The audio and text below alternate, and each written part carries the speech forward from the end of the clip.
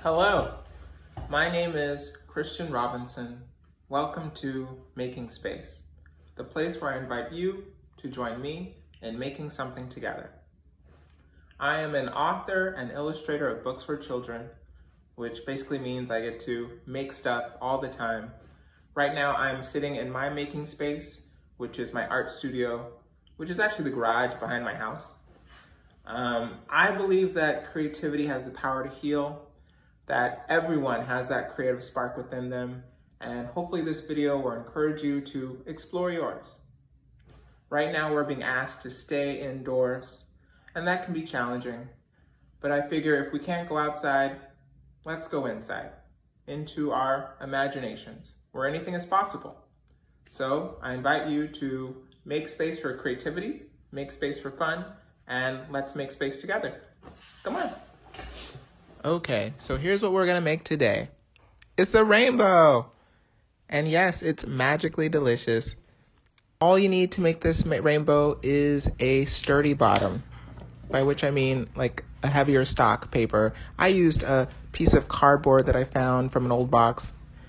Um, to keep it simple, I'm gonna only use three colors to make this rainbow. I used paint, um, but you don't have to use paint. You could use anything from crayon, marker, colored pencil. Um, so I went with like a blue color, this like pinkish red, and a golden color to make my rainbow. Rainbows can be any color you want them to be. Why limit a rainbow's potential? Um, and so I want these projects to be something that anyone can make. Right now, I'm even having trouble getting to the art store, so I'm using a bunch of junk and trash and things that I found in my recycling bin uh, to make this rainbow.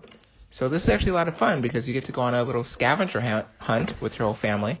Uh, so I cut up some old boxes and I focused on the colors that I thought would go well inside the lines of my rainbow.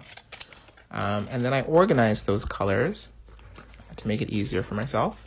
And then I began to arrange them on the rainbow. And I used everything from a rubber band to onion skins to an old sponge, and then I began to glue things down. Um, and it was pretty fun. And there it is. Take a look. It's in a book. It's reading Rainbow. Today's art project was inspired by a book.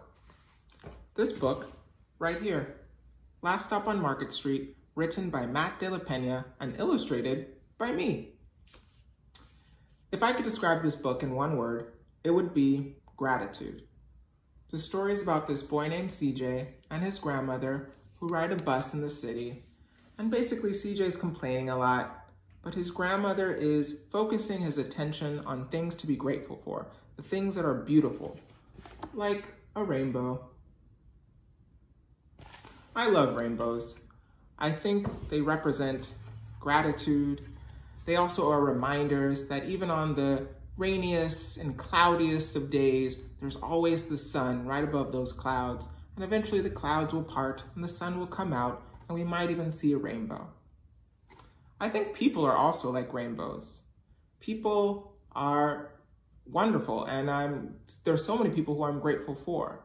Like the people who work at grocery stores, who make sure that we have food, the people who are working in hospitals right now, our nurses and our doctors, and of course our teachers and educators who are making sure that young people are learning, even if it's online. Perhaps if you make this art piece, maybe you'll share it and write something about someone who you're grateful for. Who's a rainbow in your life? Maybe it's a parent or a caretaker. It could be anyone.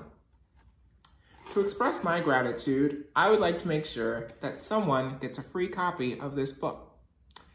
Uh, so basically, all you have to do is like this video, comment below, and basically I will make sure that you get a copy of this book. One person will get a copy of this book.